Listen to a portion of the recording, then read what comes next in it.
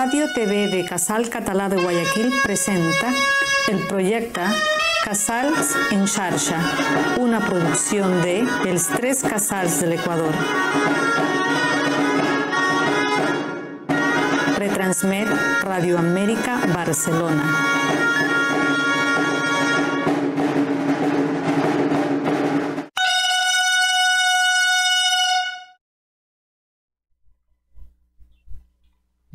Dia, bona tarda, bon vespre, bona nit a tots els fusos horaris. Aquí altre cop, doncs aquí un punt de trobada, aquesta trobada que fem cada dijous, els catalans de l'exterior, moltes persones dels casals catalans, tot el món, que molt contents de tenir avui com a convidat en José María Murià, que és un gran historiador, creu de Sant Jordi, i ens representarà en, en Robert González de l'Orfeó, que agraïm aquesta gestió d'haver-lo pogut tenir aquí i perquè ens presentarà doncs, el segon diccionari dels catalans de Mèxic. Molt benvingut, moltes gràcies. Dime, També moltes gràcies a tots els que feu possible aquesta iniciativa de Casals en xarxa, ja lo hice, de dels casals, d'empoderar-nos de, com a catalans de l'exterior, eh, doncs, a tots els casals eh, que ho han començat i que hi som i que fem possible, tots, tots, tots. Eh? Sabem que això és transmès per les xarxes de, dels casals de Quito i Guayaquil i per a Ràdio Amèrica Barcelona, que sempre ens ajuda tant, doncs els dimarts. Doncs res, amb això, i també amb la bona notícia de que doncs, eh, avui tenim doncs, que s'ha arxivat la tramitació de l'eudordre de la consellera Carla Ponsatí doncs, per la justícia escocesa.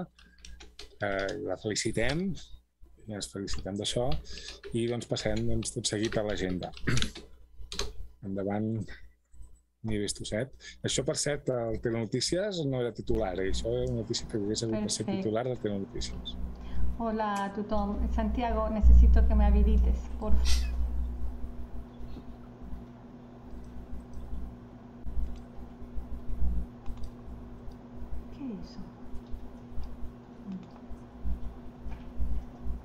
Ostras, Nieves, et veiem doble ara. Sí, ahí, ahí estamos, no sé, yo no hice nada. ahí estamos bien, sí, creo, ¿no? Sí, estás muy bien. Sí, sí. Minu minuto, por favor. Listo. Ok. Bona tarda i bona nit a tothom. Tot seguit presentem l'agenda de Casals en xarxa. La setmana passada vam tenir, com totes les setmanes, el Casal Catalunya per anar amb llengua petita eh, també per a joves i adults les classes i tallers de català. Casar Català de Guayaquil, com tots els dissabtes, els de, de classes de català en tres nivells. En qui som ens va acompanyar Marta Cuelo des de Sao Paulo el conte Pirates. Arquitectura i Arts del Casal de Guayaquil va canviar de dia, ara són els divendres. Vam tenir a Boni López Grau, descendent de catalans, una dentista que va optar pels olis sempre amb la Gisela Zambrano. En punt de trobar amb Jep Bonet des de Perpinyà, vam tenir una xerrada respecte de com es construïm la República Catalana. Vam tenir l'últim dia del taller amb meravellosos treballs realitzats per les participants eh, de Trancadís amb Carola Cadelli, qui va organitzar el, el casal dels països catalans de la Plata en fòrum amb el director i amb la col·laboració de l'Ambaixada de Mèxic a l'Equador i Cineclubs d'Equador i Mèxic, com també el casal Sequito i Guayaquil, vam tenir la pel·lícula Tiempo de lluvia amb la directora Itandewi Jansen. El 21 d'agost, l'Associació Catalunya de Sao Paulo va presentar en palestra online amb el tema de tapies a Barceló. Eh, Queenie Chat del casal de Guayaquil va presentar Beguda de Pobre, en Cinema El Casal de Guayaquil, la directora catalana Carmen Aumedes va presentar Marleni, no Marlene. A la pel·lícula a seguir de la, eh, Cuentos de la Luna Pàl·lida del país convidat Japó. Japó. Aquesta setmana, avui vam tenir a Roser Rovira amb el relat personal Maria i Robert. I ara en punt de trobar José Murià, qui ens parlarà del segon diccionari de catalanes de México. El Centre Català de Rosario tindrà a Carles Duarte Montserrat amb el tema Defensar la llengua, construir país, de Joan Triadú. Divendres, en Arquitectura i Arts, la Gisela Zambrano va conversar amb Mafo, Maria Fernanda López, gestora, curadora, docente de la Universidad de las Artes de Guayaquil, y com ella diu mare el projecte Haciendo Calle. Diumenge en Chat tindrem Pebrots en Vinagre, amb la Nieves Tusset i Cati Santamaria. El cinema al Casal de Guayaquil el dimarts, la directora catalana Bàrbara Ferret, tindrem la pel·lícula Muñequita Linda, i el país convidat és Itàlia amb la pel·lícula The Disappearance of My Mother. El Casal de la Plata comença classes d'Occitània. Més endavant, organitzat per els cas tres casals de l'Equador Catalans al Món, Associació Americanista de Catalunya i altres. 31 d'agost és la data límit per entregar els treballs del novè concurs fins el dia 31 d'agost. La premiació serà l'11 de setembre. Organitzat per els tres casals de l'Equador i Orfeo de Mèxic, la UNESCO, la CCI i el CNIPN, entre altres. D'igual manera, les entitats per llengües originàries i castellà també. La data és 31 d'agost en totes les llengües indígenes de l'Equador, nautat i castellà fins. La premiació serà el 17 de setembre. Al setembre, octubre i novembre, el Casals dels Països Catalans de la Plata, amb l'Antonio Gaudí Argentina, presentem el volum de Disrupcions, seminari sobre els catalans Gaudí, Puig i Cadafalch, Llullol, Domènec, Domènec i Montaner, Dalí, Miró, Ruissinyol i Casas. El 4 de setembre, el Casal de Catalunya de Paraná tindrà l'homenatge a l'immigrant al Museu de la Ciutat amb la col·laboració de la Municipalitat de Paraná, la Unió de Col·lectivitats de Entre Ríos i la Generalitat de Catalunya. El Casal Català de Guayaquil dona inici el dissabte 4 de setembre una sèrie d'inauguracions i exposicions a la comunitat dins de les activitats per a la commemoració de la Diada. La primera serà Els Poetes Catalans, primera temporada en Casa Morada, seguida per la commemoració de la Diada que serà conjuntament amb la inauguració de la segona temporada de les dones catalanes amb el suport del Museu Naim Isaías i el Ministeri de Cultura el dimecres 8 de setembre i finalitzant amb l'exposició e inauguració del eh, dimecres 29 de setembre de les Bruges catalanes. El Casal dels Països Catalans de la Plata inicia classes regulars via Zoom eh, el, 7 de, el 6 de setembre. L'Associació Americanista de Catalunya el 13 d'octubre presentarà les jornades avinenses i desavinenses entre Barcelona i Amèrica. Es pot trobar a casalsenxarxa.cat perquè publiquem el teus presencials o virtuals, comparteix el teu cartel al correu electrònic agenda arroba casarsenxarxa.cat. Fins dilluns que ve. Moltes gràcies a tothom. Moltíssimes gràcies, Nieves. Jo aprofitant la, la posició que tinc ara, eh, no, aprofitaré també doncs, per, per indicar-vos una activitat que farem com a Casal de Quito, que és cinema, que tindrem La vida sense Saramat, una gran pel·lícula que aquí va triomfar eh, la mostra cinema, l'última abans de la pandèmia, el cinema català que vam fer a Quito. Tindrem a la directora Laura Jou i a Maria Morera, l'actriu la, protagonista. Toni per participar encara al concurs en nàhuat, castellà, català o llengües indígenes de l'Equador. Moltíssimes gràcies, Robert, per, per tot, sempre, i passem doncs, a la presentació del protagonista d'avui. Doncs eh, gràcies, Cristian. Eh, molt bona tarda des de Pachuca, Hidalgo, a Mèxic. Eh, parlo també com a membre del, de l'Orfeo Català de Mèxic i és per a mi un, un gran honor eh, el convidat que tenim avui al, al punt de trobada, en José María Murià, eh, que és eh, pues, tota, una, tota una institució aquí a, a Mèxic, eh, sobretot entre la comunitat catalana, entre la gent que prové de, de l'exili i també doncs, una persona molt reconeguda en l'àmbit acadèmic en general per tots els mexicans. No? Ell ha viscut eh, sempre molt immers en la història de Jalisco, que és un estat eh, de la República Mexicana, amb la segona ciutat més important, que és Guadalajara. Es va titular a la Universitat de Guadalajara l'any 66, es va doctorar al Col·legi de México l'any 69 i des de 1973, amb un parèntesi llarg i un altre de curt, ha estat investigador de l'INA, que és l'Institut d'Antropologia, eh, l'Institut Nacional d'Antropologia i Història. Fa més de tres dècades que és membre del Sistema Nacional d'Investigadors, nivell 3, que és el màxim nivell, i fa més de 25 anys que és membre numerari de l'Acadèmia Mexicana d'Història. de la qual és emèrit. També ho és del Seminari de la Cultura Mexicana i des de 2018 a Jalisco de l'Acadèmia Mexicana de la Llengua. Ha rebut reconeixements eh, a Mèxic, a l'estranger i a Catalunya. Eh? Destaca sobretot la medalla Regiomontana, capitán Alonso de León, l'any 84, la, la Creu de Sant Jordi, eh, el Catalunya Internacional, amb dos a Barcelona l'any 2009, eh, la Orden de Isabel la Católica i los Premios Guadalajara el 2011 i Jalisco el 2013 i el 2018 va ser declarat Bayertense il·lustre.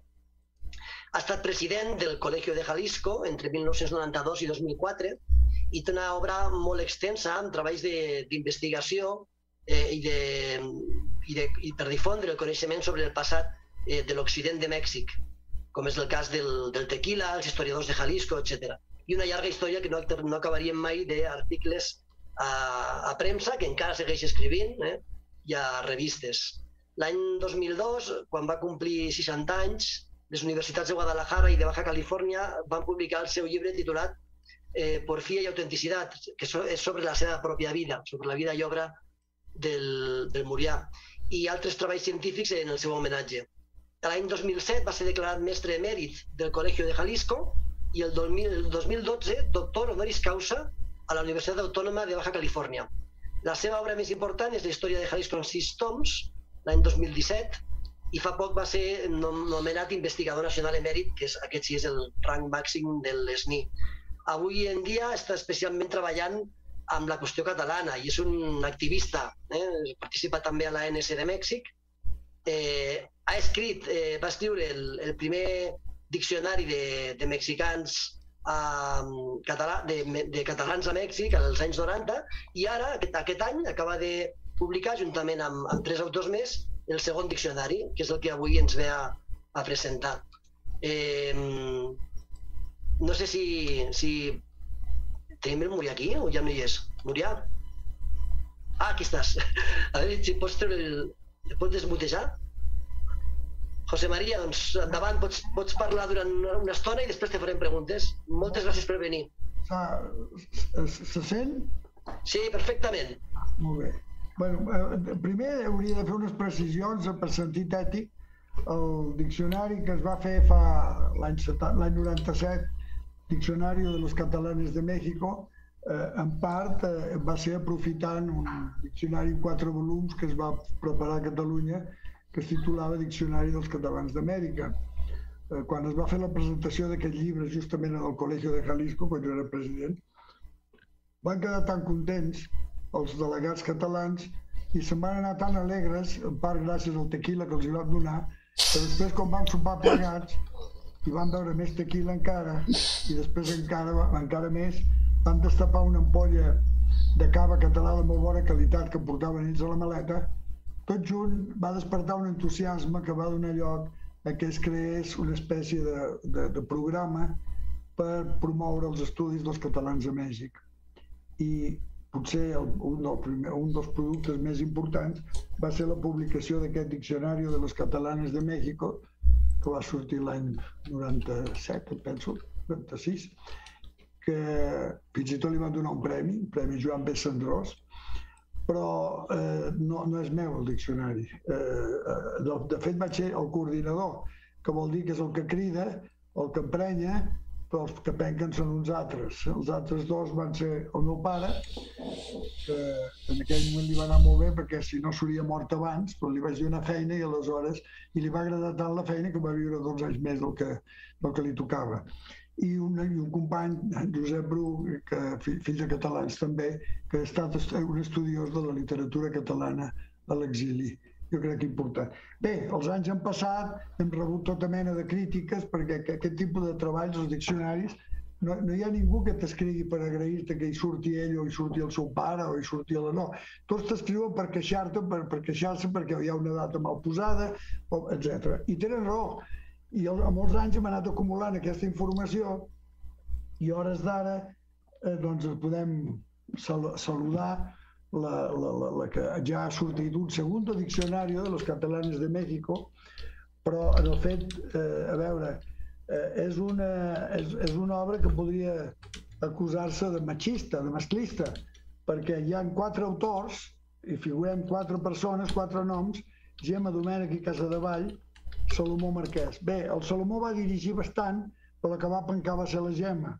I després, per part de Mèxic, són José María Murià i Angélica Peregrina, i va passar el mateix. Jo feia de coordinador i l'Angèlica és la que va treballar també més. De manera que com, com es feia, com, es, com, com passava antigament, eh, els, els homes es van rascar la panxa i van dirigir i les dones han fet tota la feina. És una autèntica vergonya, però bueno, el resultat és que estem contents amb el, amb el llibre. Eh, és molt més gruixut, deixeu-me ensenyar-vos en un i us ensenyo l'altre, és a dir, només, és a dir, és molt més gruixut un que l'altre i té molt més eh, noms, té molts més, eh, moltes, és a dir, molt, moltes esmenes de pifiades que, que, que es van fer o omissions que es van fer en el primer diccionari i per tant, segons sembla, també té més errors i potser també hi haurà queixes de més absències. Per tant, doncs, si tot va bé, d'aquí 25 anys doncs, en prepararem el tercer diccionari de los catalanes de México o si no, qui, qui tingui queixes es podrà dirigir després a la Universitat de Girona, que és allà on centralitzarem la informació perquè es pugui ja, diguéssim, per una vida més moderna, anar incorporant les, les, les errades que es tenen. Diuen que tot, tota l'obra, a tots els llibres, els hi falta tot menys el que tenen. Bueno, el diccionari aquest, doncs en aquest diccionari dels catalans, de los catalanes de México, hi falten tots els catalans de Mèxic menys els que hi ha. El, en fi, estem contents de totes maneres, hem tingut problemes de, de, de, de finances i coses d'aquestes, però bueno, això ja al cap d'un poc, de poc temps ja serà el de menys, ja tot serà superat i si no se supera doncs ja serà oblidat i doncs a, a veure, doncs estem, estem, estem, estem contents. Ara d'aquí un parell de setmanes, si la pandèmia no diu alguna altra cosa, possiblement faré un viatge a Catalunya i ja hi ha programades tres o quatre presentacions a, a, a Barcelona, a Girona i, i fins i tot a, a un lloc que em fa molta il·lusió, que és en el MUME, el Museu Mm, com es diu, de, de l'exili, que està a la Junquera, no? que és, és un lloc petit, molt maco, una cosa molt ben feta, molt digna, i, i bueno, eh, és, un, és una institució a la que li tinc un, un efecte, un efecte, efecte doncs, especial, entre altres coses perquè m'han aguantat com a membre del Consell des de fa una pila d'anys a poder assistir molt poc, oi? José Maria, i de tots aquests catalans que heu recollit al, al, en aquest de, eh, diccionari, sense, sempre amb el perill de que deixis algú important, quins ens, ens podries destacar ara? Eh, quins diries realment han marcat una impronta important o, o, o te cauen més simpàtics o t'agraden més? O... Home, el tema de la simpatia en aquest cas, doncs, a, eh, a veure, si, si hagués de treure els que em són antipàtics, potser es quedaria reduït a la meitat el llibre, oi? Però el, com un diccionari aquest tipus de simpaties o antipaties doncs no, no, no, no s'han de manifestar, diria jo el, el, no, el, el criteri s'ha d'incorporar-ne tants com hem pogut, tants com n'hem sabut coses, perquè també el problema és que de noms sense que, que, que han sortit, però del que, dels que no en sabem absolutament res, també n'hi ha. També n'hi ha eh, eh, bastants. Eh, tenim unes llistes en allà que esperem que algun dia, en fi, a poc a poc es vagi podent eh, incorporar aquests personatges encara que fins, fins i tot només sabéssim la data de naixement i el dia que van arribar o que van fer a Mèxic, etc. Eh, però, eh, i després hi ha un altre problema. Segueixen arribant catalans a Mèxic. Alguns hi estan poc temps i, com que no, no ens agrada que no es quedin, eh, doncs aleshores no, no els deixem entrar en el diccionari. Però, bueno, n'estaran arribant més com un tal, per exemple, Robert González, que treballa a la Universitat de l'Estat d'Hidalgo i està fent un brillantíssim paper, a més com a acadèmic en aquella universitat, aquest doncs no tindrà més remei en el proper diccionari haurà de ser per força, encara que no ens agradi. Però, no, però gràcies, José María, però explica'ns algun, algun català il·lustre no? que surti al diccionari, perquè també tenim gent d'Argentina, d'Equador, de, de, de, de, de um, Sud-àfrica, de molts països no? que ens estan visitant avui i, i perquè coneguin una mica, no? Quins bueno, catalans... A veure, doncs, per començar, doncs ja els, eh, a veure, uns que en deien els magnífics, no? Eh, Pere Bosch i Gimpera, que va ser rector de la Universitat de, de Barcelona, quan va ser autònoma, antigament, Eh, de, un altre personatge molt notable és Lluís Nicolau d'Olver, que va ser fins i tot director del Banc d'Espanya. Eh, té algun pecat en la seva, en la seva biografia, però l'hem perdonat perquè doncs, som tolerants i bones persones. És a dir, el pecat de Nicolau d'Olver va ser que per culpa d'ell la República Catalana que volia crear Macià va acabar convertint-se, bueno, per culpa d'ell, va ajudar que la República Catalana que volia, que va, que volia proclamar Macià que s'hagués convertit en Generalitat de Catalunya. Eh, bueno, com que era historiador i sabia de l'existència de la Generalitat, doncs va trobar va, va, va treure, va portar de l'antiguitat la paraula Generalitat i es va arreglar el problema en aquells anys de l'any 30, què? L'any 31 de, sobre la, la, l'intent de, la República Catalana. No, n'hi ha, ha, ha un grapat. Després, un mèrit que té aquest diccionari, que jo crec que va ser una de les falles del primer diccionari que van fer des de Barcelona dels catalans d'Amèrica, és que a Mèxic li van encarregar la feina amb una persona, amb una professora de la UNAM, i, i, i bueno, eh, eh, els mexicans moltes vegades ens volem diferenciar dels espanyols, però de vegades no ho aconseguim, i, eh, i, i eh, la ciutat de Mèxic tenen els mateixos criteris i vocacions centralistes, de manera que el que passa todo, to, eh, com diuen, México todo es Cuautitlán, i, o fuera de México todo es Cuautitlán, i és, és a dir, el que, el que està fora de la ciutat de Mèxic no, no compta per molta gent, i bueno, va ser una mica el cas de, del primer diccionari, del diccionari aquell de quatre volums dels catalans d'Amèrica, que van tocar poc, es van preocupar poc per incorporar noms dels que, no, dels que nosaltres diem viuen a província, no? és a dir, que viuen fora de la capital, on doncs, hi ha personatges doncs, importants, alguns de molta importància. Hi ha una senyora, per exemple, Eladia Faraudo, que va viure, eh, Eladia Faraudo Puigdollers, que va viure a Monterrey i va fer una feina extraordinàriament bona. Diuen que ella és la creadora d'allò que en diuen el treball social eh, a la Universitat Autònoma de Nuevo León. Eh, eh, hi, ha, hi ha, en fi, si, si rasques una mica, hi ha mestres per tot arreu. Hi ha uns professors vergers que van, ten, van tenir una escola que es deia Cervantes, que fins no fa pas gaire, no fa pas gaire, era probablement la millor escola de la ciutat d'Orizaba, a l'estat de Veracruz. Eh, encara sobreviu, penso que és l'únic col·legi Cervantes dels que es van fer amb els diners de la, República, amb diners de la República Espanyola, eh, a Torreón, a la ciutat de Torreón, Col·legi Cervantes, eh, doncs que també va ser, va ser, va ser fundat per, per catalans eh, de Lleida. I, en fi, eh, si val la pena insistir en que aquest diccionari ha fet un, un esforç més gran també que el professor Fàbregas, Andrés Fàbregas o Andreu Fàbregas de, de, de, de l'estat de Chiapas.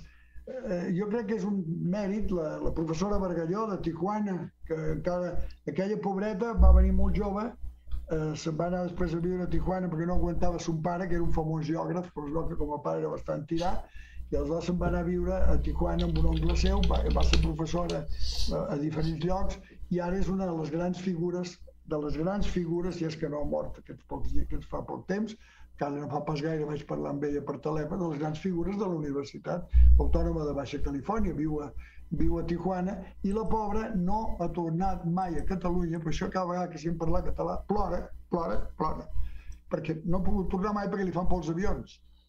Eh? És a dir, i, no, i clar, la situació per una dona gran tampoc està per venir amb autocar de, de Tijuana fins a Mèxic, que són tres dies, i després d'agafar un vaixell no sé on per, per, per tirar cap a Catalunya. Bé, en fi, hi ha moltes, moltes històries que queden eh, i, i, i fe de vida de, de, de molts personatges, oi? Després personatges importants dintre de la mateixa colònia catalana, que en una època va, ser, va tenir una, una, una certa importància. Cal recordar que, així com ara vull aprofitar el viatge per rendir el meu homenatge als catalans d'Equador, que estan donant una lliçó una gran lliçó als catalans que estan escampats per Amèrica. Jo diria que principalment els catalans de Guadalajara, de Guadalajara, els catalans de Guadalajara i de tot Mèxic, que comparat amb tot el que esteu fent eh, a, a Sud-amèrica, el que, el que s'està fent aquí és, actualment és, és mínim, és pràcticament res. No?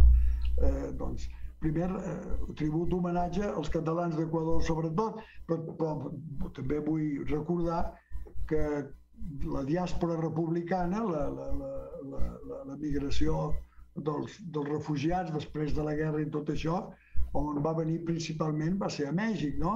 Les xifres que tenim són de que van venir més refugiats a Mèxic que a tots els altres països d'Amèrica plegats. Estem parlant de quantitats grans. I, i com que diuen que el, el, el, més o menys el 20% d'aquella migració era, era, era de catalans, doncs que, ja podem calcular que també el número de catalans que va venir doncs va ser prou gran. El mal és que la descendència dels fills, que ara podríem dir alguna cosa, però els nets s'han anat desconnectant i, i sobretot el més greu és que s'han anat assimilant a les idees dels que es van oposar a l'avinguda dels refugiats, és a dir, els que van estar en contra del recolzament del govern de Mèxic a la república i a, i a la migració. Oi? Cal recordar que per la migració republicana Mèxic va, no tan sols és allò que diuen va obrir les portes, no, no, a més d'obrir les portes els va anar a buscar. Hi ha una gran campanya per anar a pescar refugiats. El primer vaixell que va venir, per exemple, que es deia Sinaia, va, venir, va arribar a Mèxic, si no em falla la memòria, el 13 de juny del 1939, eh? la major part, l'enorme majoria dels que van venir, d'aquells 3.000 i pico de refugiats que van venir en aquell vaixell, la immensa majoria, dues nits abans d'embarcar, encara dormien en camps de concentració.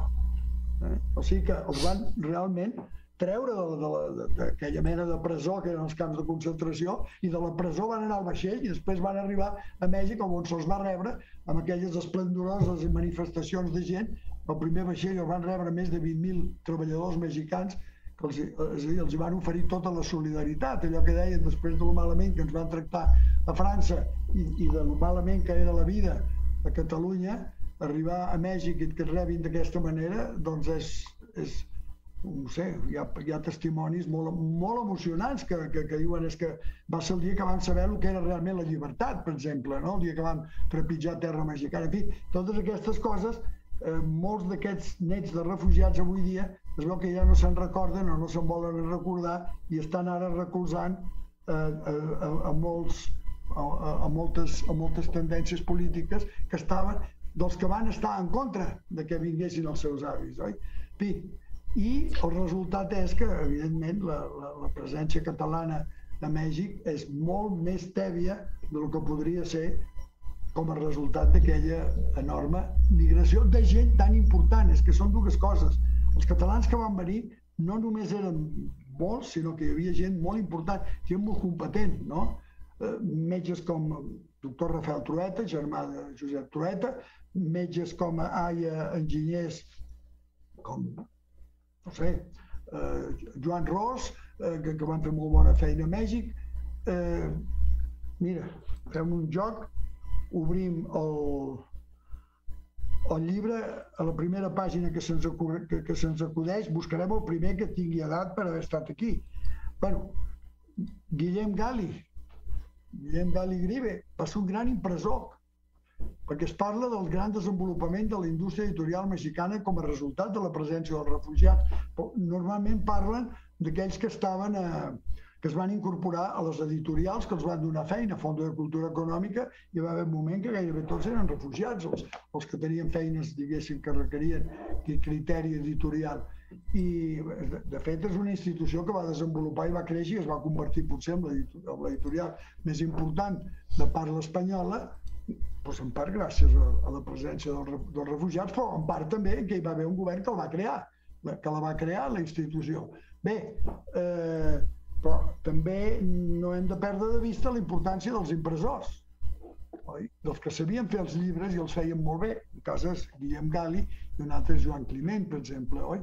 És a dir, hi ha noms que potser a Catalunya no els diran res, no, no, per aquí, per nosaltres els mexicans, doncs té una, té una, doncs, tenen una, una, una significació més gran perquè es van incorporar d'una manera molt productiva al desenvolupament de la societat mexicana. Eh, bé, doncs aquesta magnífica, en general, magnífica migració, doncs a veure, la seva herència amb els fills encara va tenir certa categoria, però amb els nets s'ha diluït bastant. Tu, Robert, que vius a Mèxic, deus haver donat compte que no tenim és a dir, si van venir 10.000 catalans com a immigrants, segurament d'un promís de dos fills cada un, eh, doncs hauríem de pensar que la segona generació ja era de 20.000 i si li poses més podria, hauríem, podríem dir que la tercera generació ja és de 40 o 50.000. On són? No, no es veuen a Mèxic, oi? Estàs d'acord amb mi? Però bueno, eh, Sí. de totes maneres eh, que, que hi, ha, hi ha grups de catalans o hi ha catalans que individualment, o fills de catalans que individualment han tingut certa influència, pesen d'alguna manera i bueno, eh, a veure, eh, jo crec que ara presumiré pel meu poble, Guadalajara, Jalisco, Guadalajara, capital de Jalisco, s'hi fa la fira més important, la fira del llibre més important de parla espanyola, eh, dels més importants del món. El, el, bé, cada any es, es fa la, la fira rendeix homenatge a un país. Eh, L'any 2004 aquell país va ser Catalunya i es va poder fer malgrat les travetes que va, que va imposar l'ambaixada d'Espanya, que, va, que va tractar de posar el govern espanyol, que van tractar de, de, de posar els espanyols que viuen a Mèxic, com que vivien a Mèxic l'any 2004, etc etc. Malgrat tot, vam superar així, gairebé diria per violència o, o, o a, a, a huevo, diríem a Mèxic, eh? tot, tots, tot, tots els obstacles. I finalment, quin era la... eh, És a dir, el, el, el, el motiu, el punt, diguéssim, que, no, que, que, que, que, que sostenia la idea de que Catalunya fos el convidat d'honor el 2004? Doncs pues mira, després la, la, la clau va sortir el dia, un dia que després de que una senyora que era consellera de Cultura d'Andalusia, quan encara no es feia públic que el convidat de 2004 seria Catalunya, amb una, inaugurant una exposició sobre un poeta bo andalús, Luis Cernuda, va declarar categòricament que, que, que Andalusia seria el convidat d'honor del 2004. Bueno, li vaig dir que jo hi era estava present en aquella exposició i li va preguntar què, què et sembla la idea i home, em sembla molt bé, que li has de dir, però això és una decisió que i és un anunci que reserva el president de la FIL. Bé, surten amb aquella cosa els espanyols que de vegades, eh, quan els convé, volen ser molt xarmants, dirien els francesos, oi? Eh, no, eh, informals, no, però entre nosaltres aquestes formes, no, bé, molt bé. I allà vaig sortir pitant a l'oficina del, del president de la FIL i aquest ja em va rebre a la porta perquè ja, ja, ja sabia el que havia passat i ja, està, ja m'esperava no? que, que entraria com una bala. Vaig entrar allà i em diu, tranquil, estigues tranquil. El que farem és avançar la, la data quan anunciarem que Catalunya és el convidat d'honor, etc etc. Em va agafar tres cops a l'esquerra, vull dir, fot el camp i, i, i deixa'm treballar. Però al final em va donar la clau. Diu, se la debemos a tu papá. Eh? Bé, Resulta que el meu pare havia estat professor d'aquest xicot, que, que era rector en aquell moment i president de la fira. No? Eh, M'explico? És a dir, eh, hi ha persones individuals que no se sap ben bé, però que han, eh, han, eh, han tingut una, una, Ale. una, una presència important. I, I això, tot això, si està Ale. reflexat, el mal és que no hi són tots. Entens? Perquè de molts, insisteixo, Jo- José Maria, ara que has esmentat el teu pare, ens pots explicar un momentet de la història del teu pare? Com va arribar a Mèxic? home, és una mica llarga, Però així breument, breument. Va, ja, i, ja, donarem, ja donarem peu a més preguntes de les veure, a convidats. veure, no, el meu pare, el meu pare era, el meu pare era senzillament un català d'aquells que a ultrança, eh, independentista des de que era bailet, diverses vegades va rebre bufetades de la policia No, perquè li no. agradava pintar-se la bandera espanyola a la, sopa, a la, so- a la sola de la fi, no és correcte, però era la reacció de la joventut per dir-te que la meva família és independentista des del meu, des del meu avi. Se sap que, que, que, que el meu avi va ser, per exemple, el, el qui, va, qui va fer parlar el cinema en català per primera vegada. Oi? La, en pel·lícula llarga. bueno, i, i que a més es va arruïnar, però bueno, això és normal.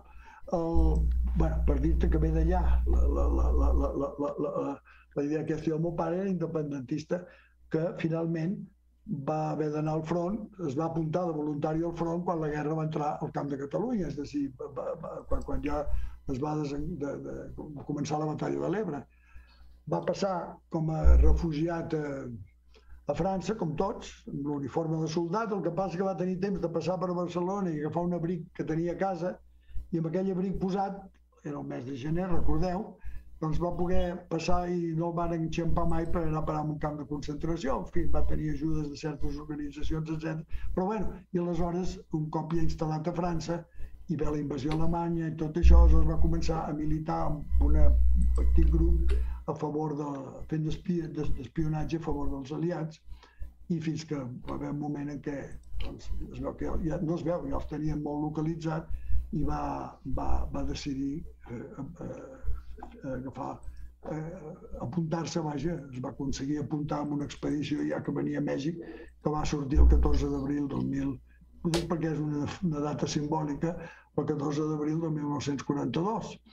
El, el, i, es va, i, i més, eh, va, va ser, és divertida la, la, i també a vegades explica les meves reaccions una mica violentes, eh, la, la seva sortida, perquè eh, eh, de la, de, del grup aquell de cinc, el jefe no va tenir cap problema, va pujar en el, en el vaixell aquell a Marsella sense cap problema.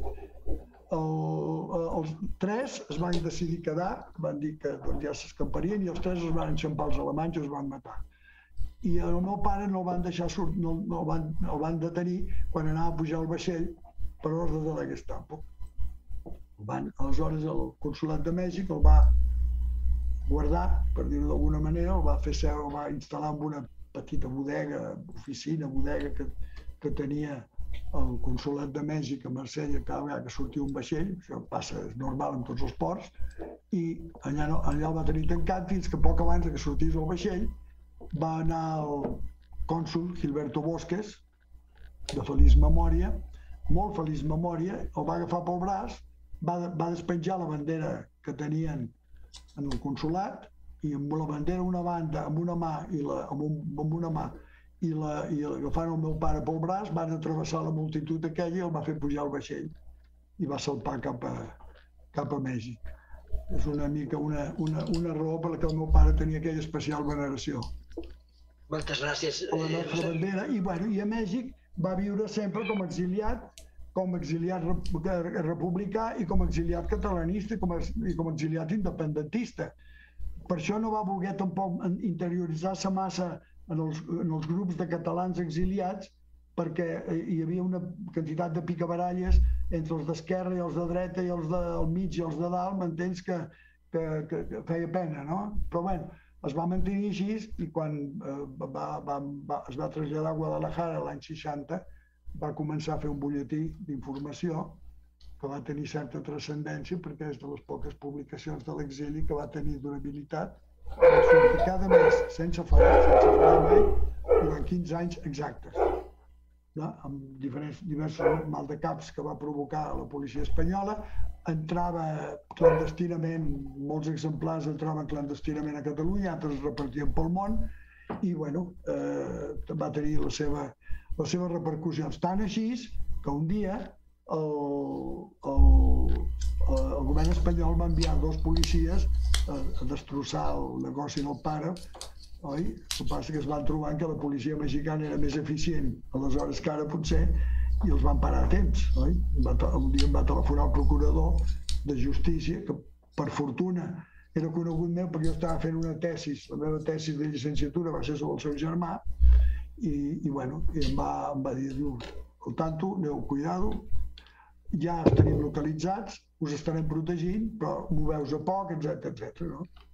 Cap d'uns dies és una, una cosa que em va fer molta gràcia, a més, ho dic que és una anècdota que a Mèxic les lleis doncs sempre s'apliquen, moltes vegades no s'apliquen, de vegades s'apliquen malament, però de vegades s'apliquen amb sentit comú. I aleshores, quan ja em despedia, li vaig dir, bueno, ja, gràcies, etc. I espera't un moment, porta't això per si de cas. I em va donar una pistola. Després me la va reclamar que li tornés, no? Però el, el, i esclar, estava privadíssim que un civil tingués pistoles i més d'aquelles, perquè va haver un pistolat. En fi, eh, parlo perquè la solidaritat del govern de Mèxic era, era de veritat, oi? Però bueno, aquest era el pare que va ser independentista tota la seva vida. Oi? Molt bé. José María, moltes gràcies. Podríem estar parlant aquí hores perquè tens molt, moltes coses a dir, però també eh, vull que intervingui la resta de gent no? que, que estan aquí convidats. Tenim tenim gent de diversos casals, tenim el president de l'Orfeó també, el delegat de la Generalitat a Mèxic, a Argentina, bueno, companya, la, la companya Mireia, molta més gent, no?, que es pot anar sumant. I ara passaríem al torn de preguntes. No sé si, Cristian, s'ha de posar el vídeo, no?, del... Xat obert. Protocol per a preguntes. Som molts i tots volem preguntar. Aixecar la mà virtual, si us plau. Quan rebeu autorització, obriu el micròfon. Nom, cognom i organització, si us plau. Una pregunta breu, 30 segons. Repreguntes o comentaris després que tots preguntin. Gràcies per la teva ajuda. Eh, doncs eh, tenim eh, en primer lloc el Patrick. Endavant, Patrick. Hola, bona tarda, José María. Soc en Patrick, escuta la CEA, la vivint a Bages, a Catalunya i a Viat a Luxemburg, o periodista buscant feina i també militant d'Esquerra Republicana a Catalunya. Sí, volia fer uh, dues preguntes curtes. Uh, la, la primera, si haguessis de fer un altre uh, diccionari aquest mes sabia sobre uh, Catalunya, uh, com hi descriuries Uh, el que està passant a Catalunya del procés uh, que fa la independència i en aquest sentit com es veu des de Mèxic el que està passant a Catalunya el procés cap a la independència.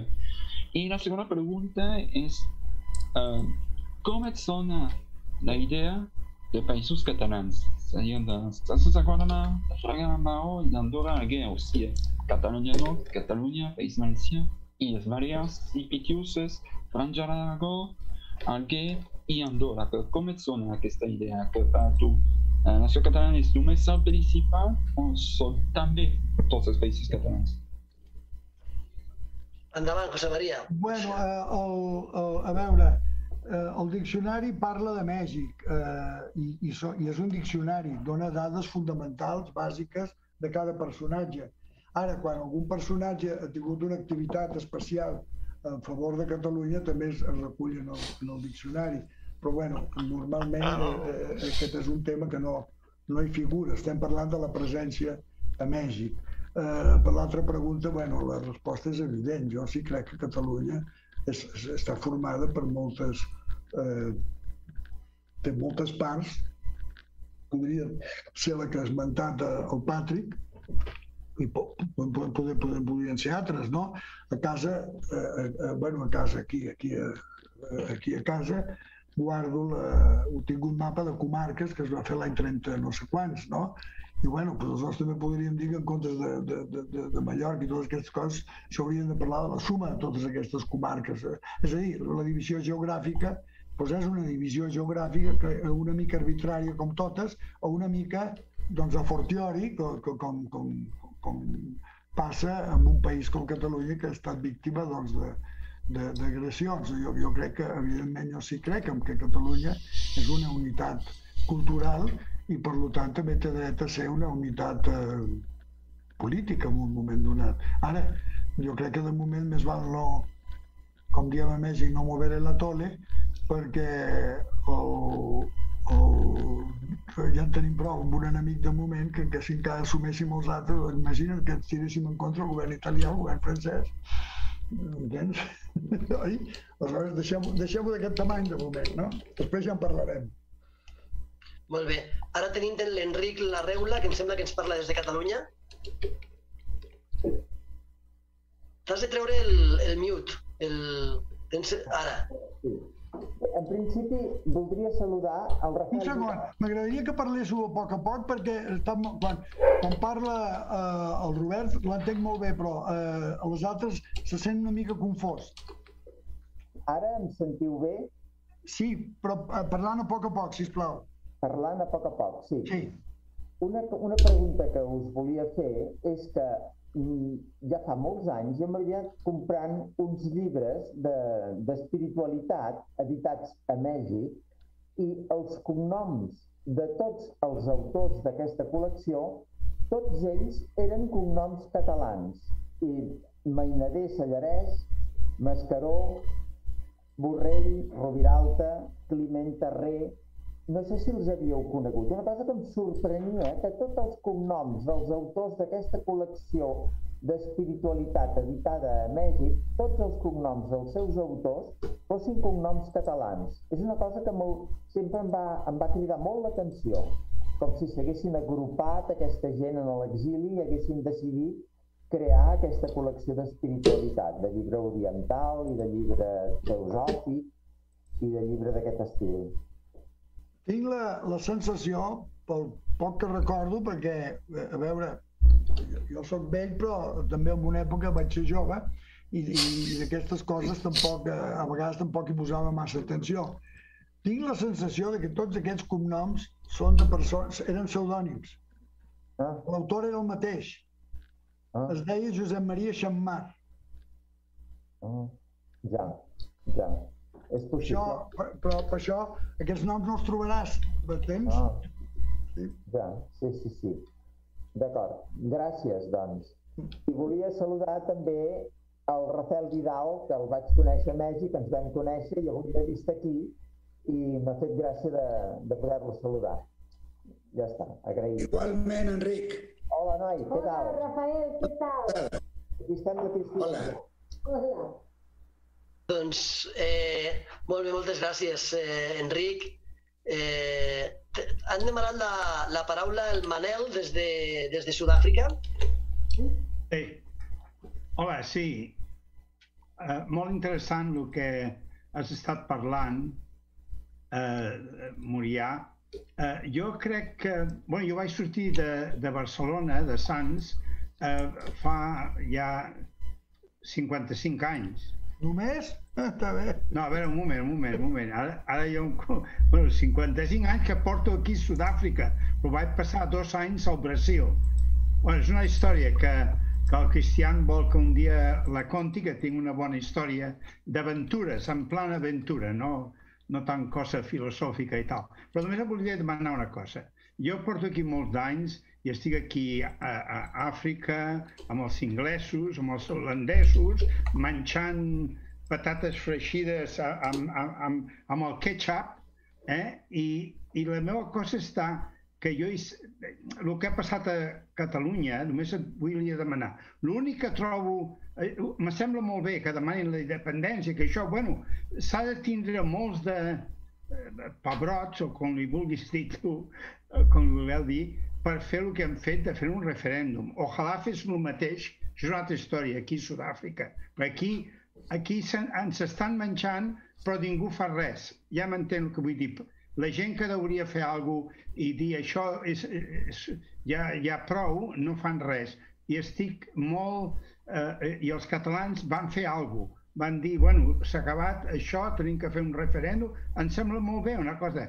Ara bé, l'únic que me sembla raro que és, és el de la, aquella, el demanar la independència o, o declarar la independència aquell dia. Jo crec que això és el que ens ha matat eh, eh, els catalans de que van demanar la independència, van eh, aquell dia. Això, això el millor se podia haver esperat. El referèndum tot va molt bé, però el fet d'haver declarat la independència, quina idea tens tu d'això? Tu creus que va ser una miqueta, es van passar, podien haver esperat una miqueta, eh, què et sembla tu això? És l'únic que em sembla a mi una mica així estrany, eh? Ja, perquè he apagat el micròfon perquè ets per sentir-te millor. Ah, Mira, eh, a veure, jo sóc un historiador mexicà. Vaig néixer a Mèxic, he viscut tota la meva vida a Mèxic. Tinc una simpatia especial per Catalunya eh, però no sóc un entès pròpiament amb la situació política de Catalunya. Sé el que probablement saps tu també, de llegir els diaris i coses d'aquestes, potser una mica més que tu, perquè eh, durant una època la feina que feia aquí em va portar a Catalunya gairebé dos cops l'any. bueno, potser tinc, he tingut al llarg dels anys sobretot els últims 20 anys, més contactes amb Catalunya que tu i potser tinc una mica més, una mica més d'informació i de formació. Eh, jo no, jo no, no em preocupo per fer un anàlisi de la situació. Prou feina tinc analitzant la, la, la vida, la història del meu país. Eh, Catalunya per mi és una emoció, oi? I a mi fa una gran il·lusió que Catalunya sigui independent, m'explico? Però eh, jo crec que això és una cosa que han de decidir els catalans, vaja, jo no, tinc, jo no puc ni votar a Catalunya. Entens? L'altre dia els hi deia de broma, resulta que l'independentisme, tal com l'esteu portant ara, resulta que per ser català s'ha de ser primer espanyol. Però aquest servidor no és espanyol, per tant, jo no podré ser català mai.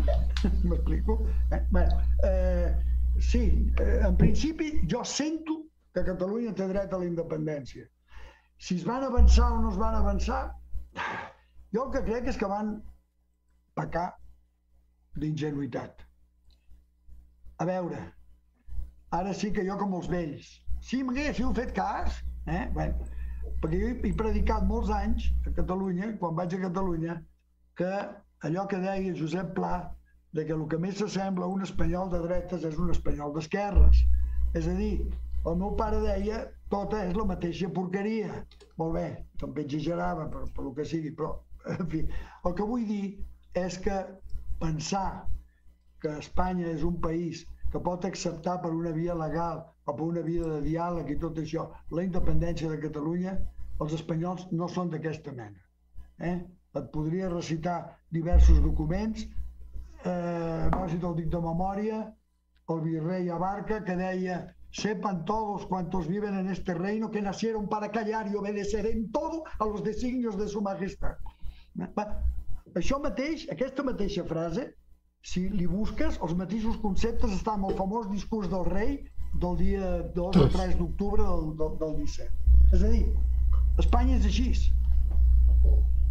I jo aquí sí crec que van pecar de- d'ingenus, de, que eh, per una via d'aquest tipus, la independència de Catalunya s'ha d'aconseguir per molts altres procediments. Jo crec, per exemple, que acosta més a la independència el fet de que en Puigdemont estigui exiliat, el fet de que hi hagi gent a la presó, etc. No és que els hi desitgin, però eh, aquestes coses, almenys des de la perspectiva mexicana, mm, sento que des de l'any 17 cap aquí eh, les simpaties a favor de la independència de Catalunya han augmentat. Quin percentatge no t'ho podria dir, m'explico. Però ara, si, si val la pena, si cal o no cal això, no, no sóc jo qui ho ha de dir. Finalment sóc un ciutadà estranger de Catalunya. No, tu ets català també, José María. Gràcies, dius tu, però la llei diu que no. Escolteu, no, no- s'ha apuntat ningú més al primer torn, però em sembla que ha aixecat la mà un altre cop l'Enric. Ah, sí, l'En- l'Enric la reula. En, en... Espera un moment, el Rafa ha aixecat la mà? Sí? Donem la paraula al Rafa. Rafa Vidal, president de l'Orfeó, endavant. I després anem a les repreguntes, vale?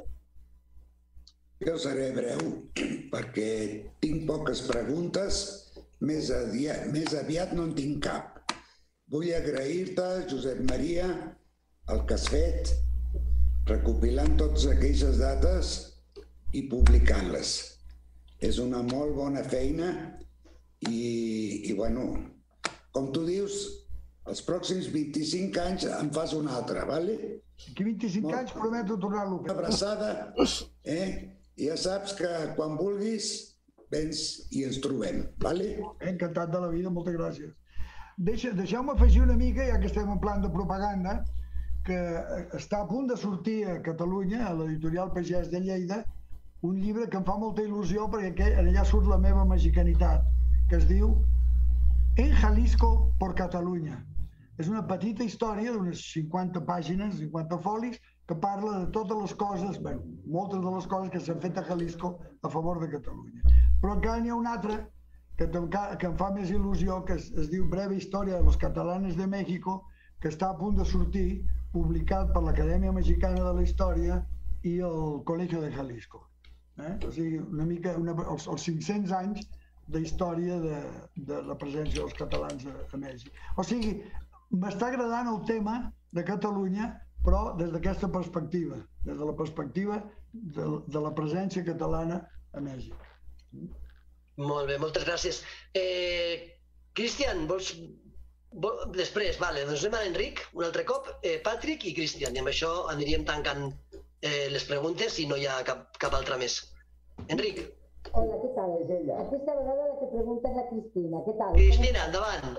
¿Qué tal? Hola. Ah, bueno, jo, jo volia preguntar, en primer lloc agrair al Josep Maria, però també li volia preguntar Jo soc secretari en aquest moment de la, de la sectorial d'immigració de l'Assemblea Nacional Catalana. Nosaltres calculem que més o menys per les properes eleccions uh, un 20% de l'electorat és un electorat d'immigració. Un 20% de la població catalana en aquest moment és població immigrant, entre el que ens contem.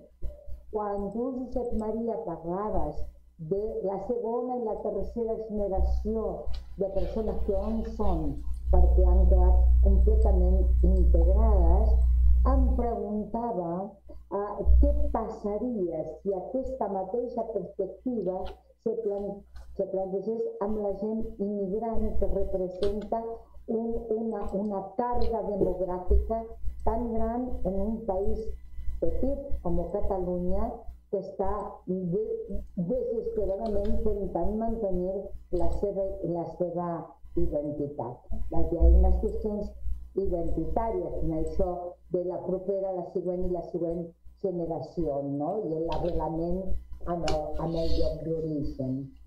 Bueno, era bàsicament aquesta, aquesta qüestió, que és una qüestió també estratègica. Què podem esperar de l'immigració que està aquí i que és molt.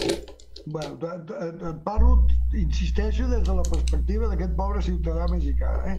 És la meva perspectiva. A veure, la meva queixa per la descendència dels refugiats potser no és tant que s'hagin integrat a Mèxic, perquè molts d'ells no s'han integrat a Mèxic. Això és més greu encara. Eh? Estan tractant de mantenir una espècie de espanyolisme que se sent, com diem a Mèxic, se sent superior a qualquiera, eh? i creant una, és a dir, han creat una espècie de casta, oi? Una espècie de casta Eh, mira, no fa pas gaire vaig fer un llibre que es diu eh, alguna cosa així de No ser por México, que eh, va sortir d'una reunió a la que fa anys em va enviar, quan jo treballava al Ministeri de Relacions Exteriors, em van enviar a una reunió de refugiats, de fills de refugiats, etc i una mica per, pel fet que jo també soc fill de refugiats, encara que d'espanyolista no sóc gens, el, eh, el, el, però bueno, jo havia anava representant el govern del meu país i, i havia de callar i, i posar cara de, de bona persona. El, però dues vegades m'ha tocat amb actes similars sentir aquesta expressió. Los refugiados y sus descendientes sacamos a este país de atrás de la cortina de nopal. És a dir, això traduït, traduït a un llenguatge modern, som els civilitzadors d'aquest país. Eh? Gràcies a nosaltres. Eh? Aleshores, la relació, diguéssim, emotiva s'inverteix. No són ells els que han d'agrair en aquest país, sinó és aquest país els que els té que agrair amb ells. I aleshores se senten una espècie de casta superior. Eh? La, la meva resposta ja ha estat diverses vegades, crec que els hi ha fet mal, perquè va dir, sí, evidentment, poso cara de franciscà eh, mort de gana i els hi dic que evidentment que el que van fer aquesta gent per Mèxic va ser molt, que van eh, ajudar a l'educació, a la cultura, etc. Mèxic només, pobret, només els hi va poder oferir una cosa, la vida i la possibilitat de guanyar-se-la en decència eh? i dignament, per començar. Oi?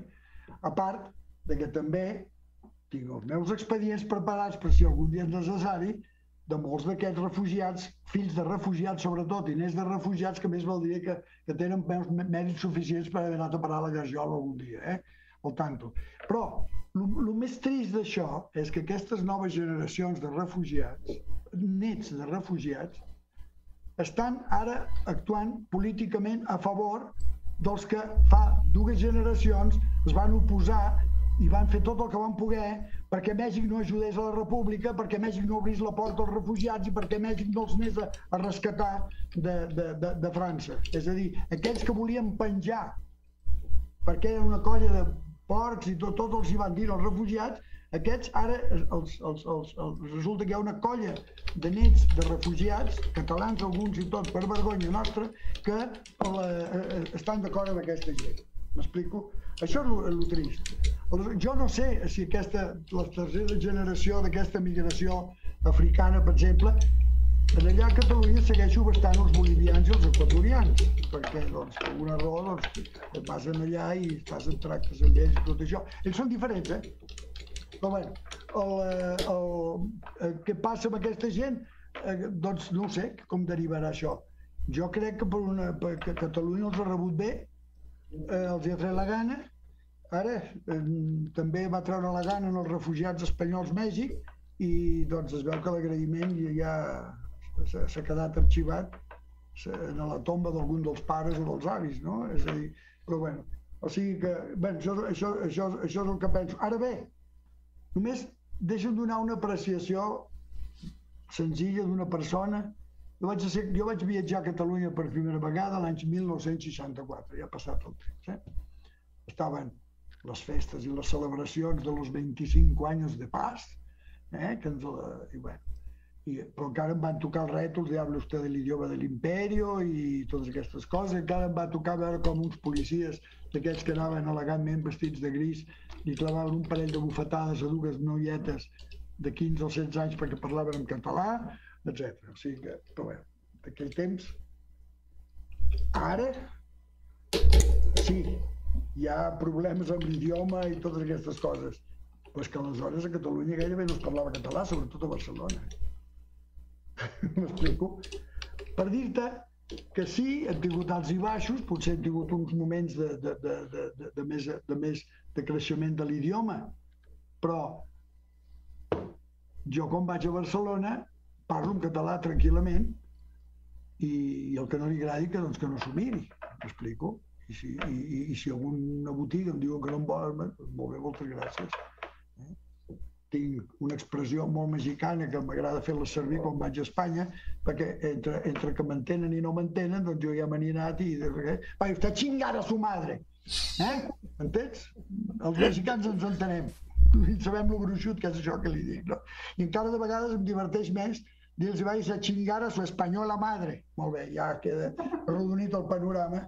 I és clar, no se'n veuen aquí, però jo faig un metre vuitanta i tants d'alçada, eh? peso prop de 90 quilos, i encara que sigui vellet i atrotinat, doncs encara eh, eh, eh, el promís d'edat i d'alçada dels espanyols, m'entens, és encara molt inferior eh, al meu. I molt inferior al dels catalans. És la meva perspectiva de l'assumpte.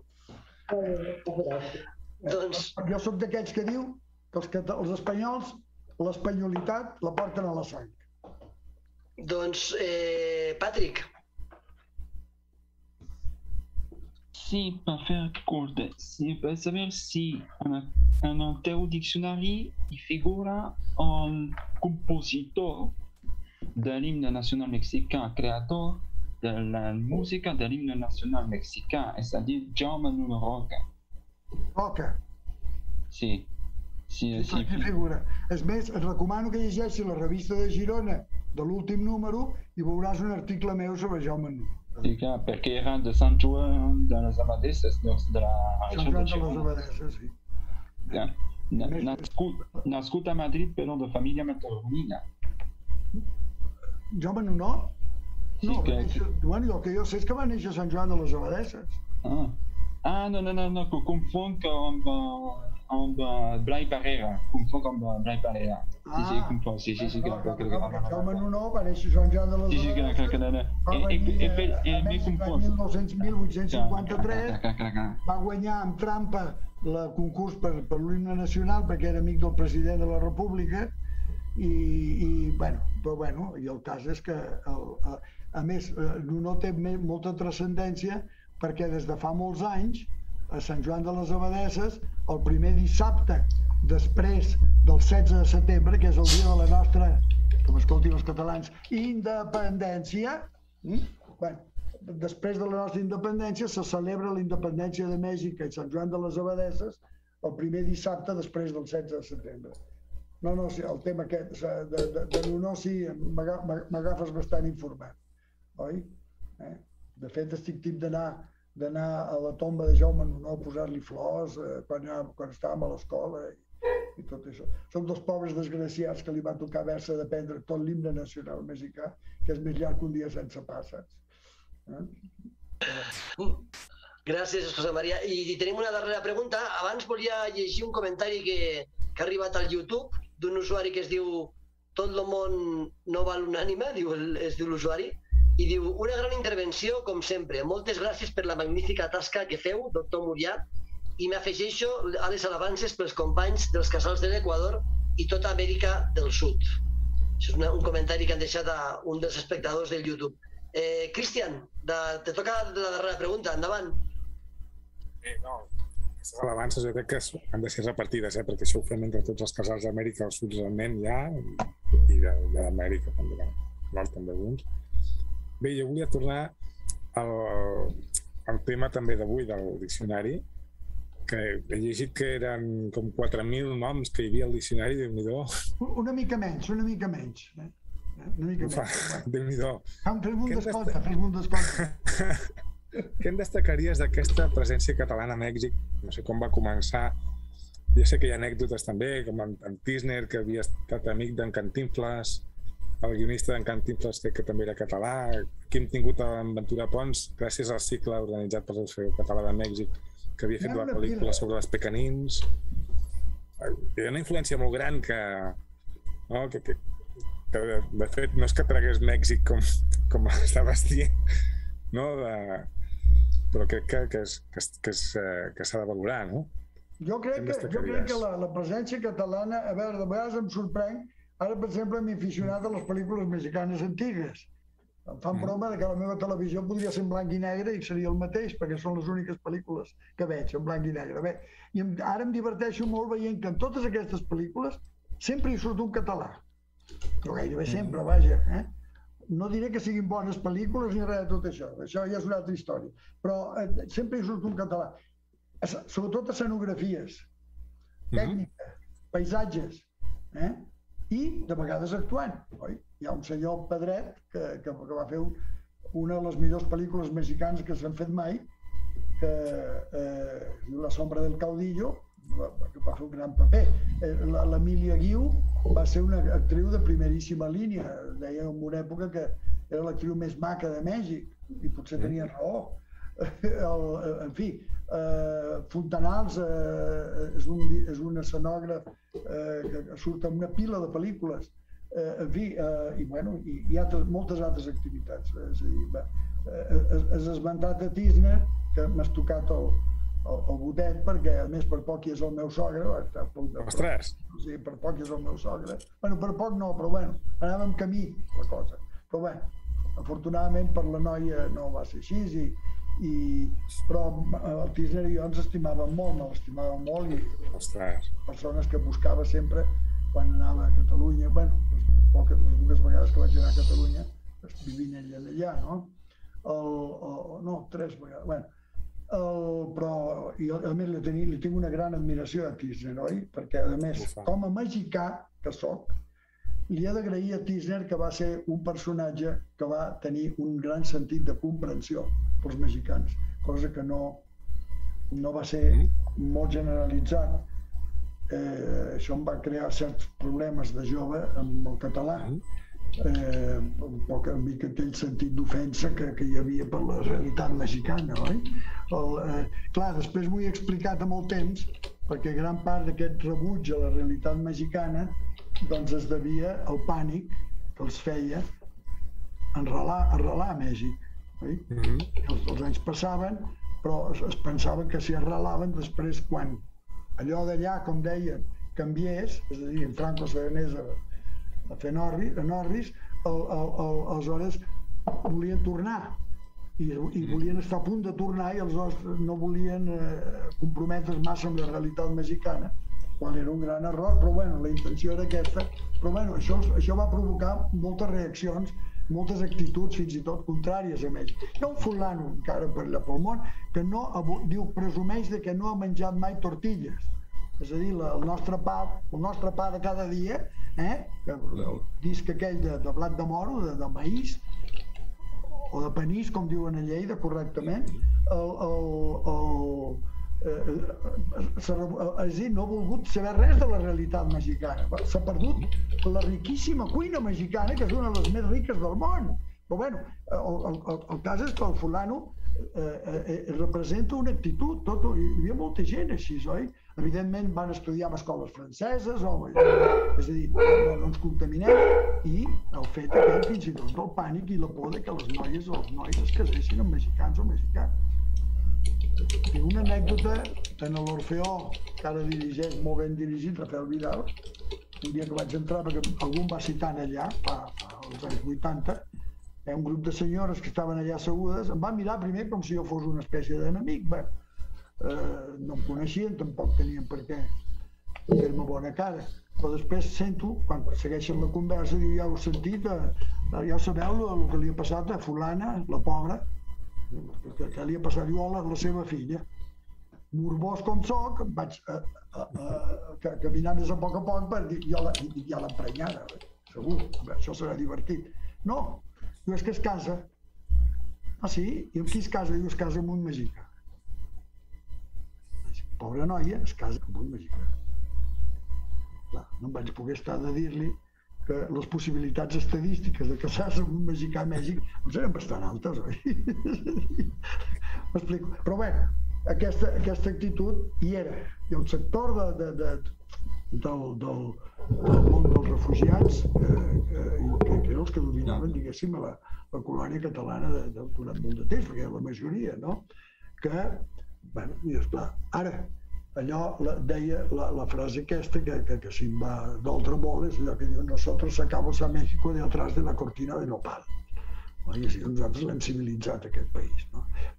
i és, és clar, això també ha provocat reaccions en contra que de fet, per exemple, en, en Tisner va escriure Memòries de Potano Vell, que, que és... Va, en, Tisner, en Tisner és un... Per això l'admiro més. El teu oncle, no? L'Agustí Bart. Aquell no tenia ni idea de quin país va viure. Aquell encara no. sap quin país va viure. No, aquell no, no, no. Aquell no va sortir mai del pis d'on vivia. No, no, no me'l posis d'exemple perquè et faràs quedar malament, sí. El, sí, no. Però en canvi va escriure també... Ah, sí, aquest Salcot, que no és una cosa que res, no, no, no.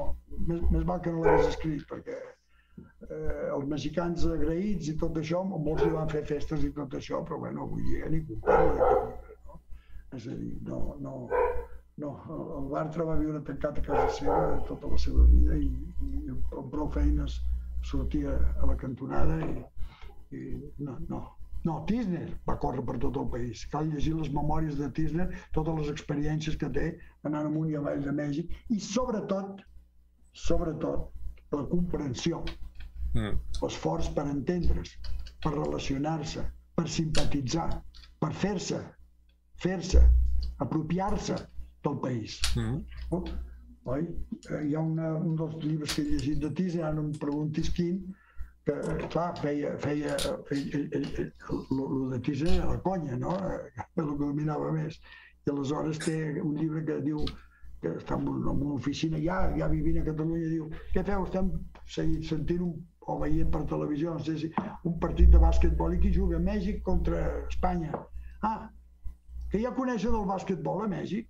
Pregunta el tipus. Dic, home, diu, estan guanyant, eh?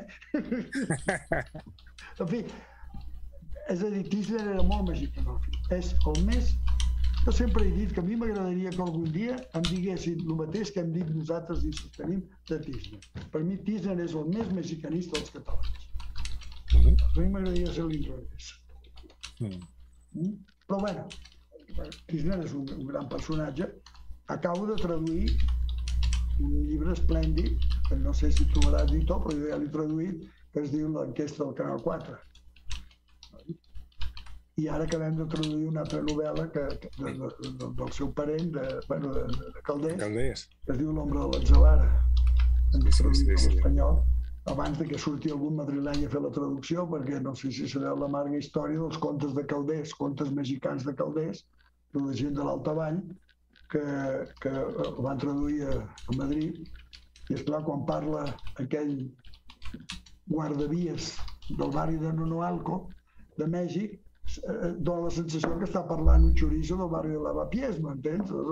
Esclar, ells tradueixen, com que ells es pensen que el seu idioma, aquell ridícul que tenen, tan pobre i miserable, eh, és, el, és el centre del món, doncs va, va, va, van tenir les penques de traduir el tema. I clar, això va ocasionar que un dia per la Fira del Llibre de Guadalajara eh, amb la complicitat d'un català que treballava a Font de Cultura, van fer la traducció com Déu mana a l'espanyol de Mèxic, o el mexicà, si es vol dir així, dels contes d'aquells de Calders, no? I, bueno, han tingut el seu èxit, no? Van donar un premi i tot.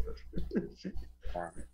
No, una mica, eh, a veure, esclar, eh, em dol moltes vegades una certa incomprensió que tenen els catalans per Mèxic, però bueno, això ja és un altre, és un altre problema, no? Eh? I la incomprensió que, dels, que aquests nets de catalans que, que, que, viuen a, que viuen a Mèxic doncs que tampoc han fet un esforç per associar-se, per identificar-se amb, la, amb la realitat mexicana i s'ha quedat amb una esfera molt explosiva i que està resultant bastant nociva. Doncs eh, moltes gràcies, eh, José María Murià.